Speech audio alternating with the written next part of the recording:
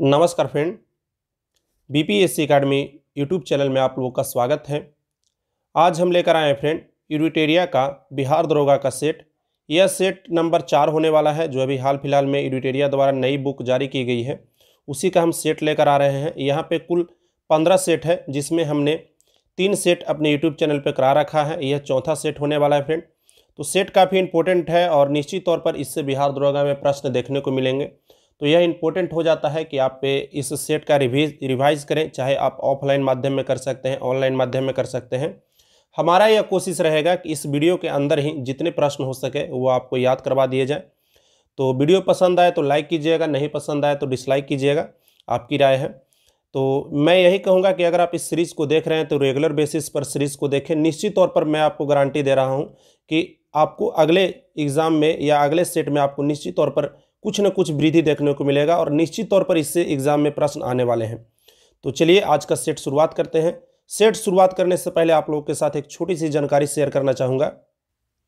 अगर आप बिहार द्रोह की तैयारी कर रहे हैं और आप कोई ऑनलाइन माध्यम में टेस्ट देना चाह रहे हैं तो एन अकेडमी अभी आपके लिए बेस्ट हो सकती है। एन अकेडमी पर देखिए फ्रेंड, तीन दिसंबर को चल रहा है टेस्ट, दस दिसंबर को सत्रह दिसंबर को और चौबीस दिसंबर को आप लोगों का बिहार दरोगा का फुल लेंथ टेस्ट लिया जाएगा, जिसमें आप अपना रैंकिंग जाँच सकते हैं। छः बजे से यह टेस्ट होगा फ्रेंड और यह टेस्ट आप लोग को डिजिटल सॉल्यूशन, वीडियो सॉल्यूशन भी इसमें प्रोवाइड कराया जाएगा और अपना आप रैंकिंग भी जा सकते हैं। सबसे जो मुझे इसकी अच्छी बात लगी, वह यह लगी कि आप अपना रैंक जा सकते हैं, अपने आप को परख सकते हैं कि हाँ हम कितने में हैं कितने लोगों से हम आगे हैं, कितने लोगों से पीछे हैं। साथ में अगर बीपीएससी की तैयारी करते हैं तो उसके लिए भी यहाँ पर आपको टेस्टेज मिल जाएँगे। तो एक बार जा करके यानी अकेडमी को ज़रूर विज़िट करें। यानी अकेडमी को जब आप विज़िट कीजिएगा तो आपसे एक कोड मांगा जाएगा। तो उस कोड में आप कन्हैया टेन को डाल सकते हैं। कन्हैया टेन कोड डालने के बाद आपके सारे स्पेशल क्लासेस फ्री में ओपन हो जाएँगे। अगर आप कोई सब्सक्रिप्शन लेते हैं, वहाँ पर भी आप इस कन्हैया टेन कोड को यूज़ करके दस परसेंट का छूट ले सकते हैं। तो चलिए, अब हम अपने वीडियो की तरफ़ चलते हैं। तो जो आज का हमारा पहला प्रश्न है फ्रेंड वह है not just cricket a report journey पुस्तक के लेखक कौन है?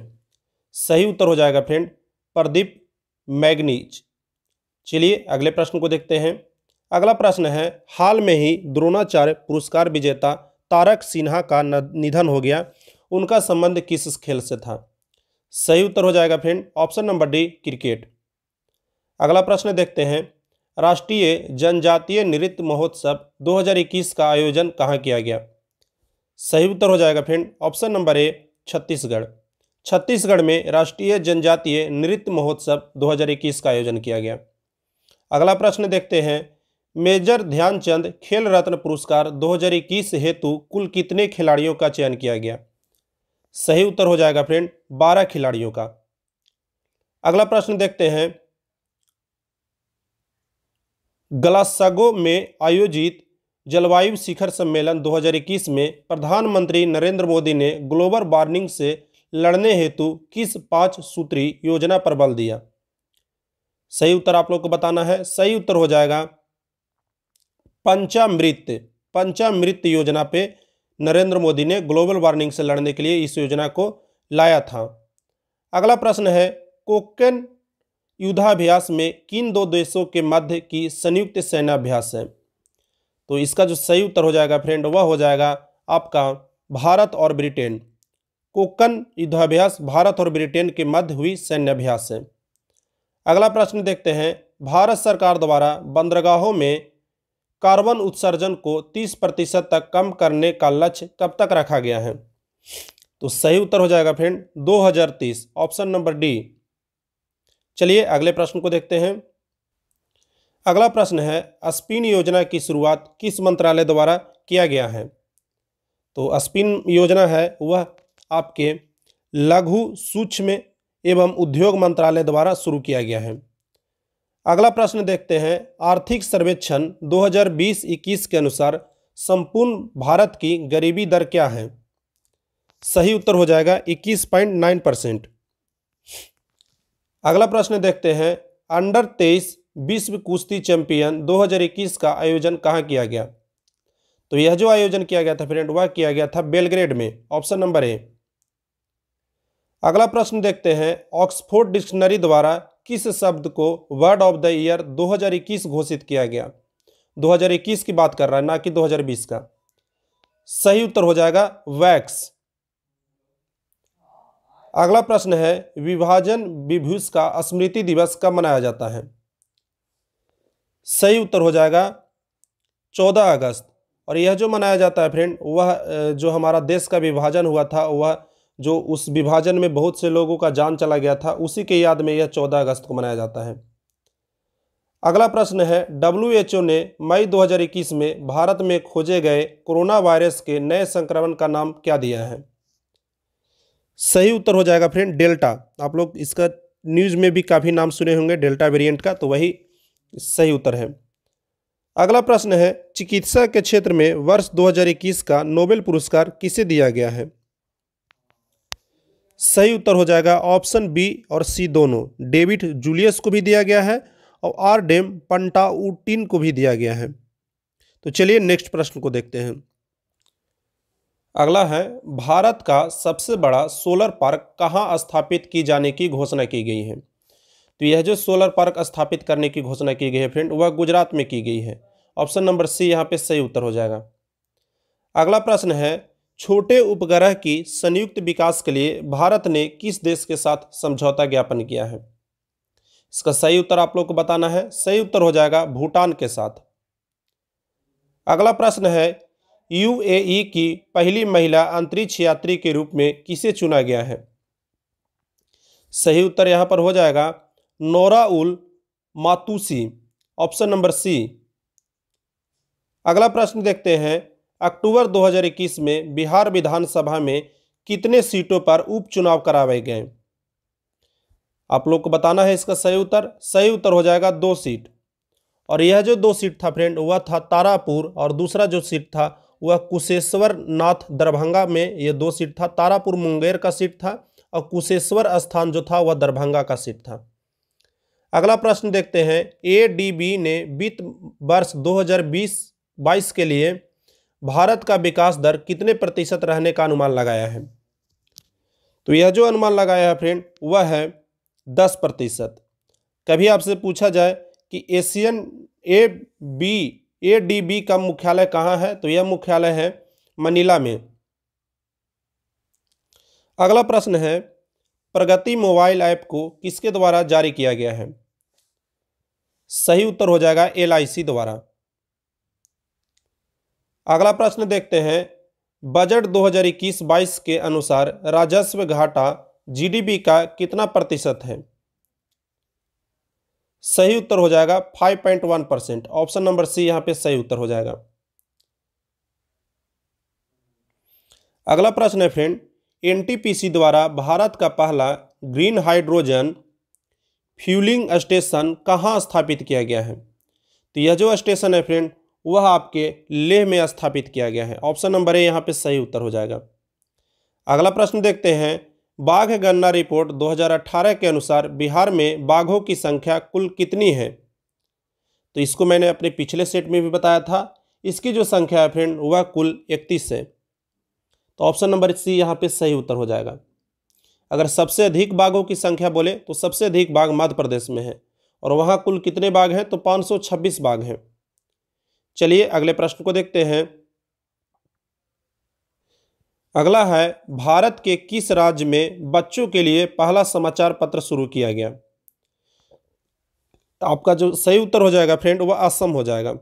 असम में बच्चों के लिए एक समाचार पत्र शुरू किया गया है, जिसका नाम है द यंग माइंड्स चलिए अगले प्रश्न को देखते हैं। अगला प्रश्न है, मणिपुर के नए राज्यपाल कौन बने?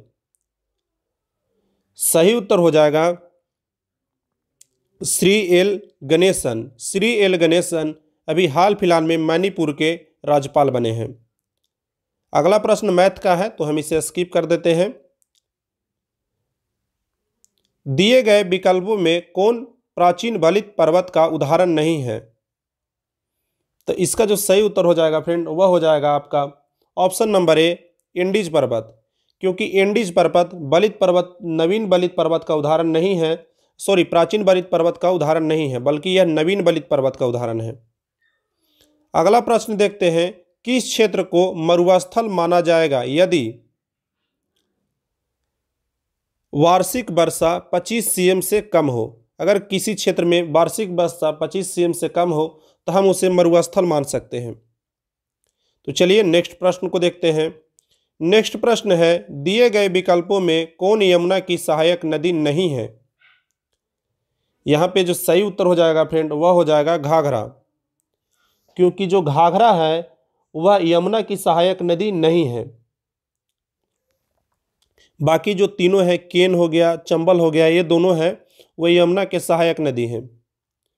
अगला प्रश्न है, नंदा देवी चोटी भाग है। तो नंदा देवी जो चोटी है फ्रेंड वह गढ़वाल हिमालय का भाग है। अगला प्रश्न देखते हैं, किस दर्रे से होकर के ब्रह्मपुत्र नदी भारत में प्रवेश करती है।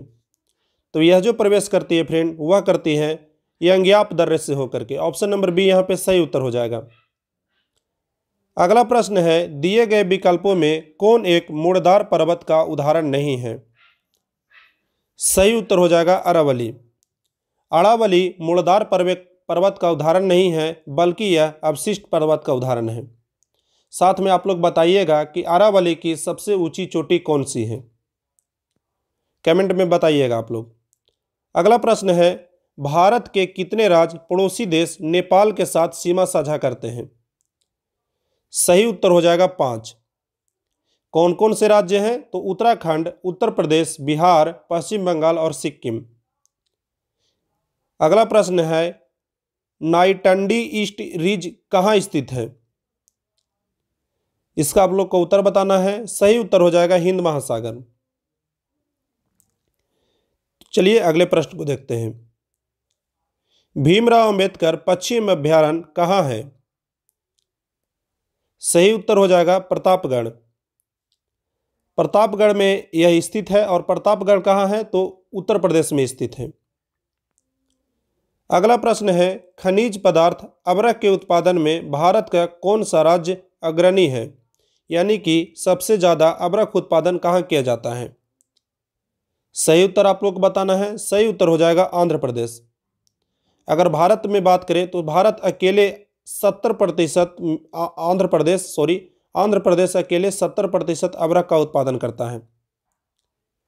अगला प्रश्न है, भारत में गरीबी के निर्धारण हेतु योजना आयोग ने किस वर्ष सुरेश तेंदुलकर समिति का गठन किया था? सही उत्तर हो जाएगा फ्रेंड 2004 ऑप्शन नंबर बी। अगला प्रश्न देखते हैं, केंद्र सरकार के कर राजस्व में सबसे महत्वपूर्ण स्रोत किसका है? आप लोग को बताना है, सही उत्तर यहाँ पर हो जाएगा, निगम कर। निगम कर द्वारा सरकार सबसे अधिक कर की वसूली करती है। तो चलिए नेक्स्ट प्रश्न को देखते हैं। नेक्स्ट प्रश्न है, भारतीय संविधान में न्यायिक पूर्वालोकन की व्यवस्था किस देश के संविधान से लिया गया है? सही उत्तर हो जाएगा फ्रेंड, यहाँ पे आप लोग का अमेरिका।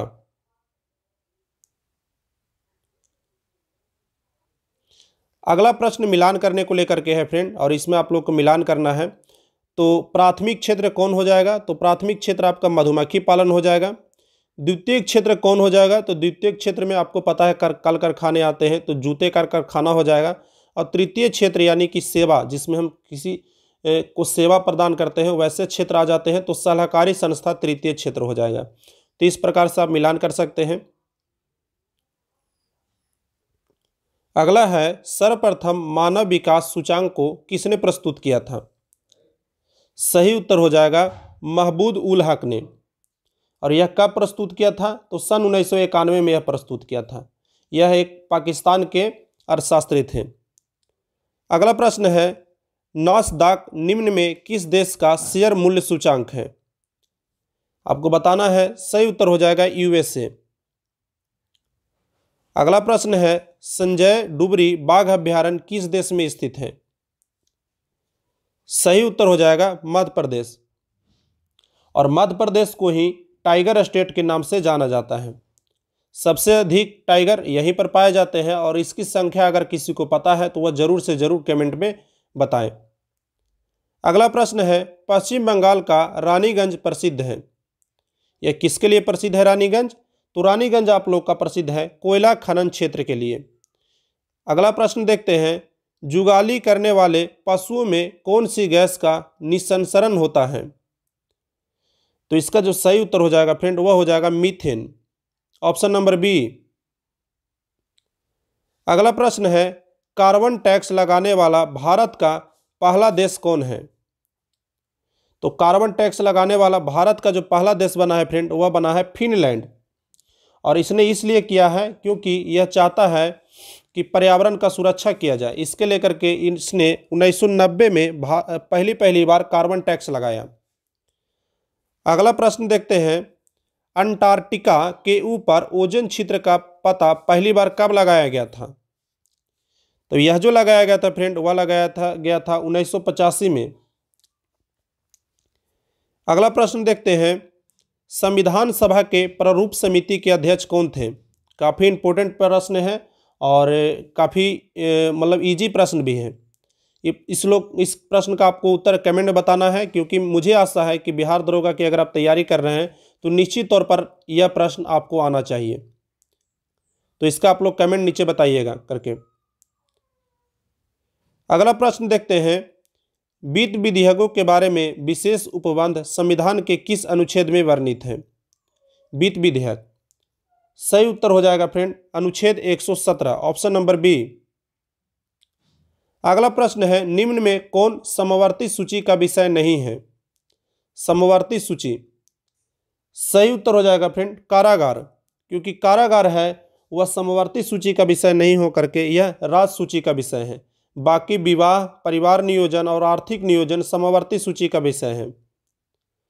अगला प्रश्न देखते हैं, संघ और राज्यों के अधीन सेवाएँ संविधान के किस भाग में उल्लेखित है? सही उत्तर हो जाएगा भाग चौदह।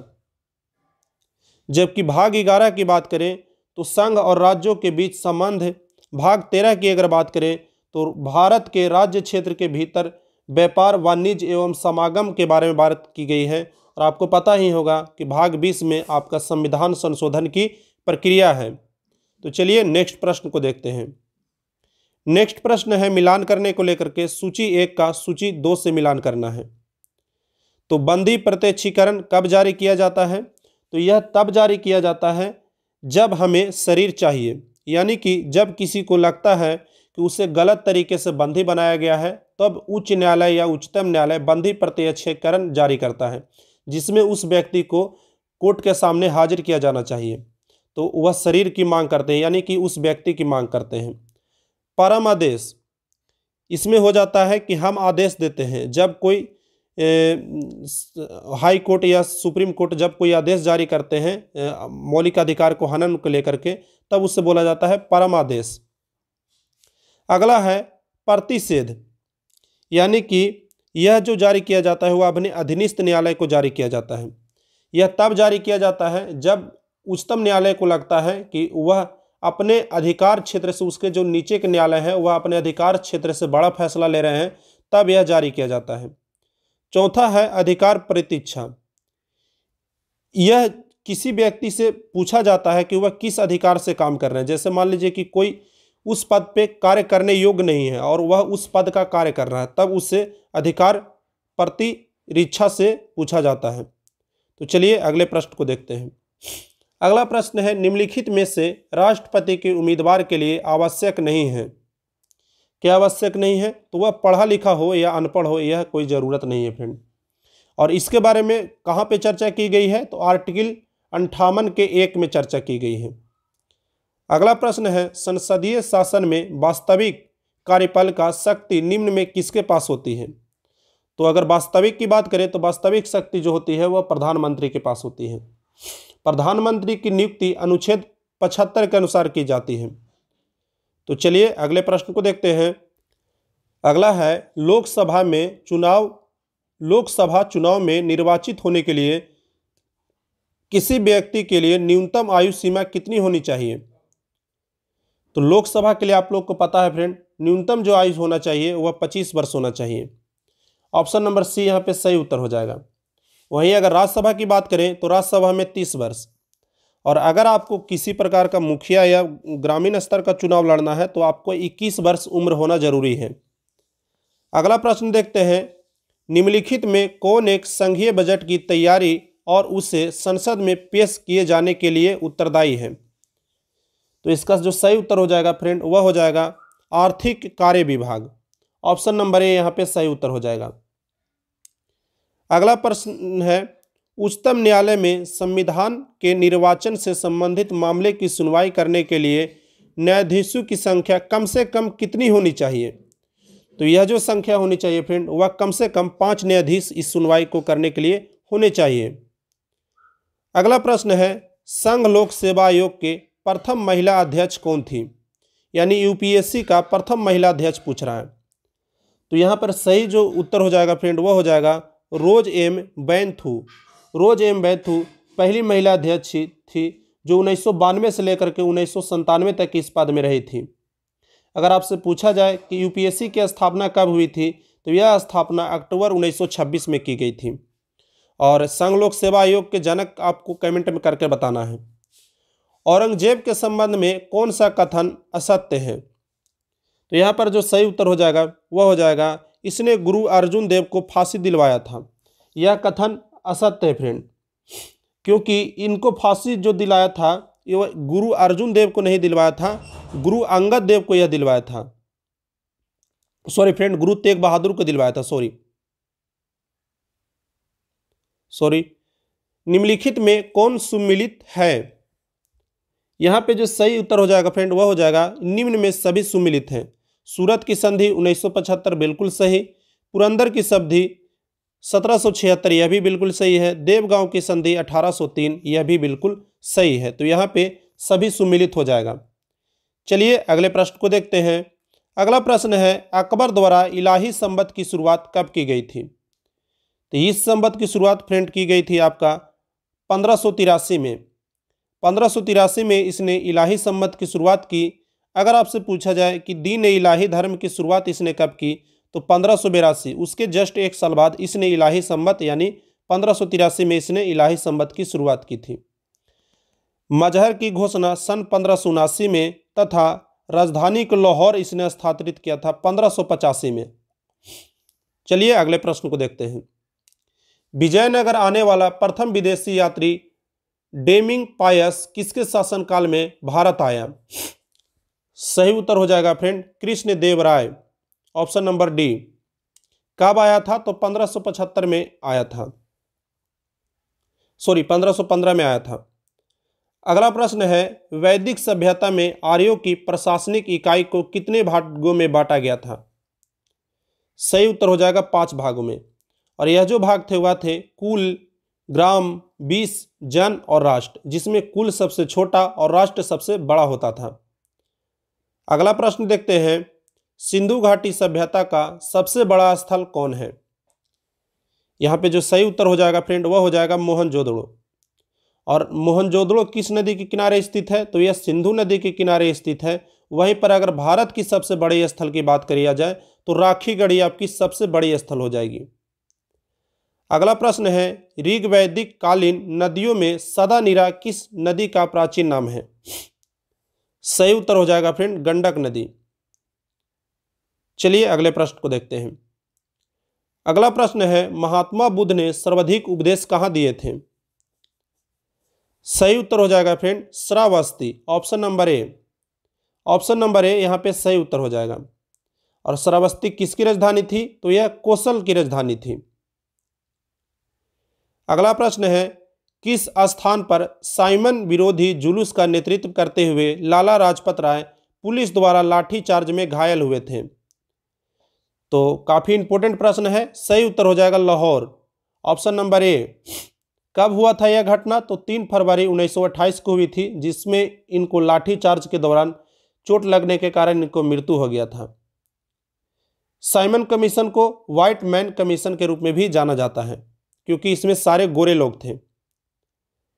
अगला प्रश्न है, Akhil Bharatiya trade union federation की स्थापना कब हुई थी? सही उत्तर हो जाएगा फ्रेंड, ऑप्शन नंबर सी 1920 में। 1920 में इसकी स्थापना लाला राजपत राय द्वारा की गई थी और यह इनके पहले अध्यक्ष थे। अगला प्रश्न देखते हैं। निम्नलिखित में किसने गांधी इरविन समझौता में महात्मा गांधी को लाभ को संतावना पुरस्कार कहा था?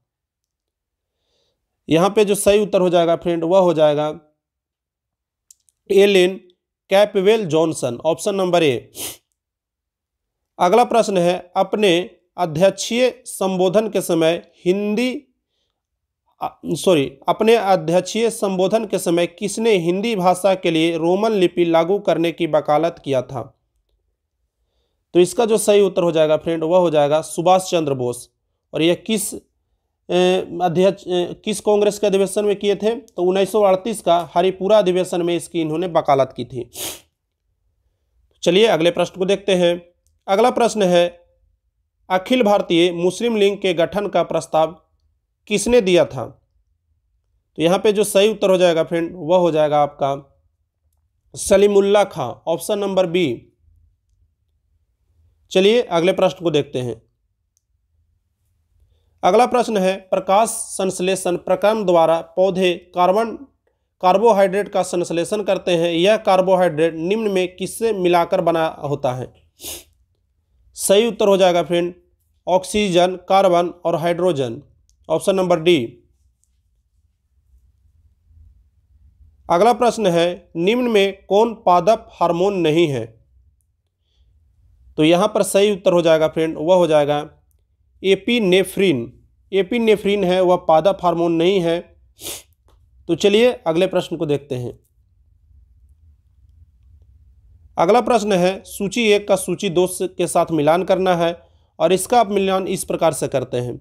प्रोस्टिक वर्ण हो जाएगा आपका बैक्टीरिया के लिए, डेंगू हो जाएगा आपके वायरस से, फील पाँव आपका हो जाएगा, क्रीमी से, और मलेरिया आपका प्रोटोजेबा से हो जाएगा। यहाँ पे रोग हैं और यहाँ पर रोग के कारक हैं। चलिए अगले प्रश्न को देखते हैं। अगला प्रश्न है, निम्न में कौन अनुवांशिक रोग है? सही उत्तर हो जाएगा, उपयुक्त में से सोए नहीं, सभी।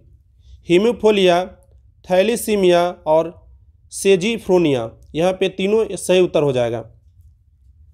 अगला प्रश्न देखते हैं, निम्नलिखित में कौन जीव निम्टोंडा संघ के अंतर्गत आते हैं? सही उत्तर यहाँ पे हो जाएगा फ्रेंड। उपयुक्त में से सभी। यहाँ पे तीनों आते हैं। अगला प्रश्न है, लार में मुक्तः कितने प्रकार के पाचक एंजाइम पाए जाते हैं? तो लार में पाचक एंजाइम दो तरह के पाए जाते हैं तो ऑप्शन नंबर ए यहाँ पे सही उत्तर हो जाएगा। और यह एंजाइम टाइलिन और लाइसोजोम, लाइसोजाइम है। अगला प्रश्न है, निम्नलिखित में किसे? कोशिकीय ईंधन के कोशिकीय ईंधन भी कहा जाता है। सही उत्तर हो जाएगा friend glucose, option number B. अगला प्रश्न है, अधिकांश कीट श्वसन कैसे करते हैं? तो इसका जो सही उत्तर हो जाएगा फ्रेंड, वह हो जाएगा वातक तंत्र से। कीट का जो श्वसन तंत्र होता है, वह वातक तंत्र होता है। अगला प्रश्न है, प्रकाश की गति किसके बीच जाते हुए न्यूनतम होती है? सही उत्तर हो जाएगा फ्रेंड, कांच के। अगर सबसे अधिकतम पूछे तो वायु या निर्वात। अगला प्रश्न है, साबुन के पतले छाग में चमकदार रंगों का बनना किस परिघटना का परिणाम है? सही उत्तर हो जाएगा फ्रेंड, प्रवर्तन एवं व्यतिकरण। Option number A. चलिए अगले प्रश्न को देखते हैं। अगला प्रश्न है, तंतु प्रसिकी संचार के संकेत किस रूप में प्रवाहित होता है?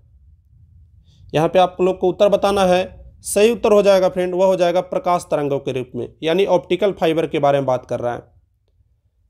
अगला प्रश्न है, यदि एक लोलक को भूमध्य रेखा से ध्रुवों की ओर ले जाया जाता तो उसका आवर्त काल ध्रुव पर होगा। सही उत्तर हो जाएगा फ्रेंड वह हो जाएगा, न्यूनतम हो जाएगा।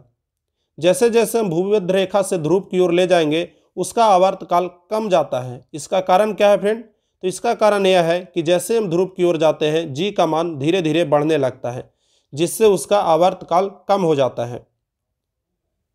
अगला प्रश्न है, एक किलो कैलोरी का मान कितना जूल के बराबर होता है? तो एक किलो कैलोरी के बारे में बात कर रहा है तो यहाँ पर जो सही उत्तर हो जाएगा फ्रेंड वो हो जाएगा चार हज़ार एक सौ चौरासी जूल। और एक कैलोरी की अगर बात करता तो four point one eight four joule हो जाता। तो यहाँ पे सही उत्तर हो जाएगा ऑप्शन नंबर बी।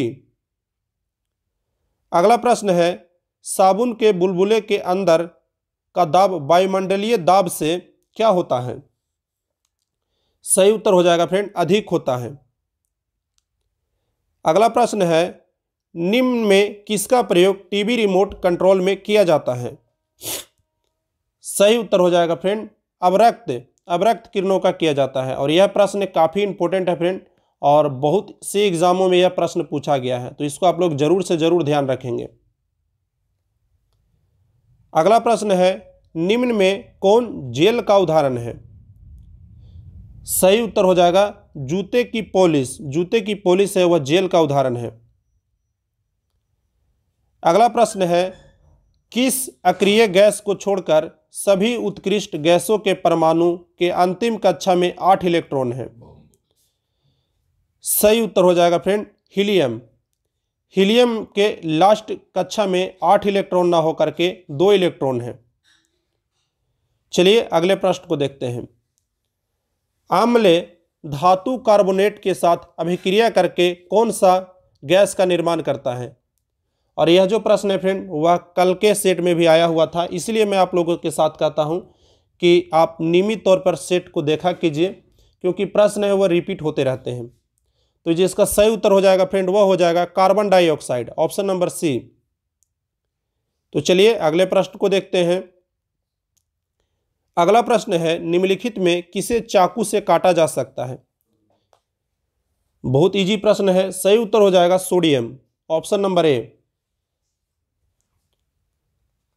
और इसके साथ ही अगर कहीं कहीं पर आपको पोटेशियम भी दिया हुआ रहता है तो पोटेशियम और सोडियम दोनों हो सकता है। अगला प्रश्न है, निम्न में से हाइड्रोजन का रेडियो सक्रिय समस्थानिक कौन है?